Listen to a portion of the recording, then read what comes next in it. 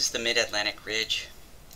And I pointed this out before, but uh, you see these, you know, they talk about magnetic striping and all that. And, um, you know, sometimes there's a lot of things that can cause certain things to be a certain way. And, uh, but what I want to point to is not the striping, but this, this, these line gouges that run horizontal across the Mid-Atlantic Ridge. I don't think um, I don't think they've ever told us what made those.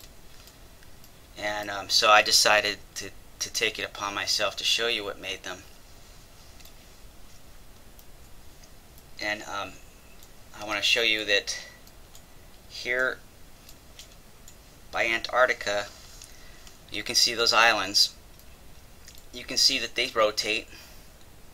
They made this uh, current right here, this right here, this turbulence. You can see that it's spinning and you can see it goes all the way up to here and then you see that the there, there's these volcanic islands here right and I've posted in a video already that these islands match with features all over the planet including matching these islands right here in the same arch, same distance apart, and everything. And then I pointed out that you'll notice that these lines right here, well, they actually run straight to them. You, it doesn't take much to, to realize that, that these volcanic islands have something to do with these lines since they look about the same distance apart as these. And you can actually see what looks like fluid combing through and turbulence. And uh, let me show you what I'm what I'm talking about here.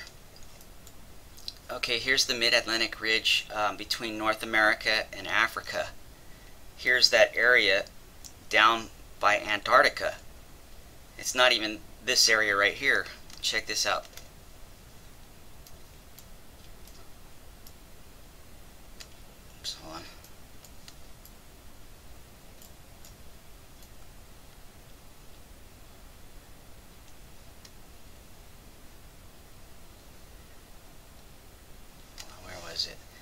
there was in a match that was so exact, I couldn't believe it.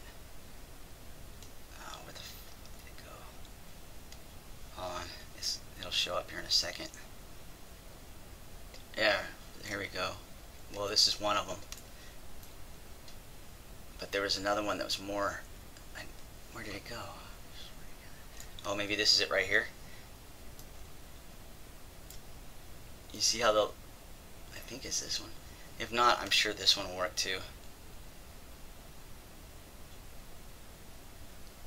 You see how the lines match up? Perfect.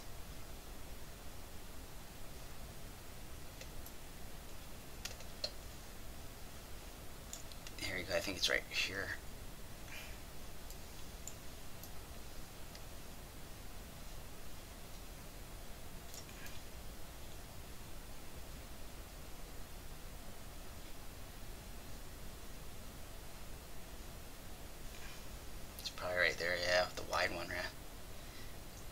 Yeah, see, and it matches all the way here.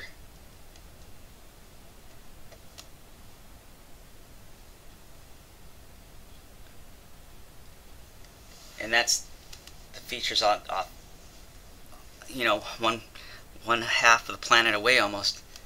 And um, what does that tell you about these these lines right here across the um, Mid-Atlantic Ridge? That's like a that's like matching a fingerprint in a crime scene because that's an exact match. And I, it will, I'm most likely sure, I'm sure that it, it will be the same everywhere.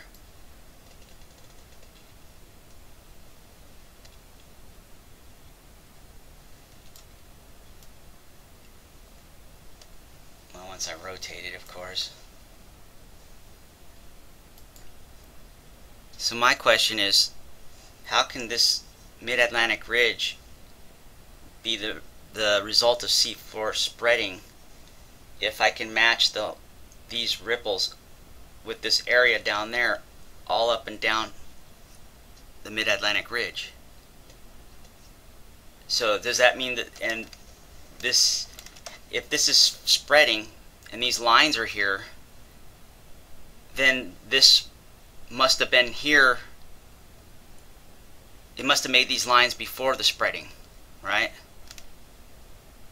So it doesn't make sense. This just doesn't make sense at all. And not only that, how did this get up here to begin with? You see what I'm saying? This is a observable evidence that's not supporting plate tectonics. And that's a problem because that's something that plate tectonics now is supposed to deal with, something like this. And um, basically, I think they're just, they'll never do it. They'll just pretend it doesn't exist and hope that you guys never notice it, I guess, or maybe they don't even notice it. I don't know. But still, it's it's something. I mean, I enjoy my science to be truthful and um, and logical, and it makes sense, and everything supports it. Well, this doesn't, and I'm not going to stick with what doesn't, you know. So, anyways, that's my that's what I got to show you. Um,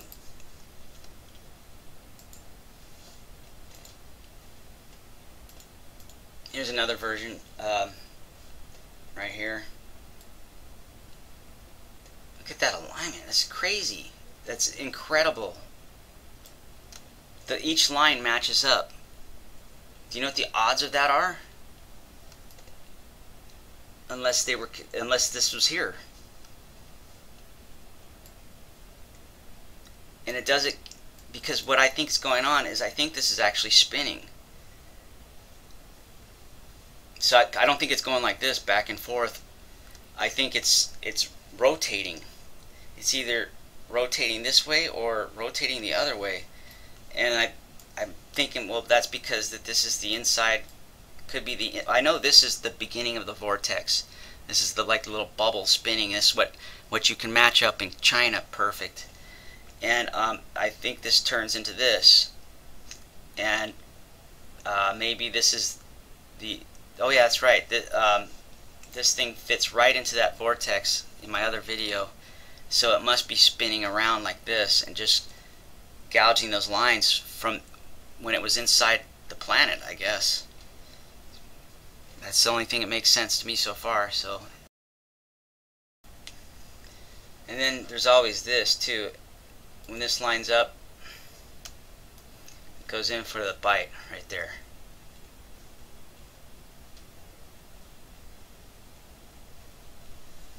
And then right here is that eye of the Sahara.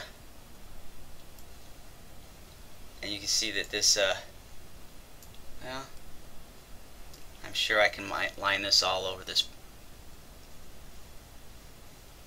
But I can do that another time.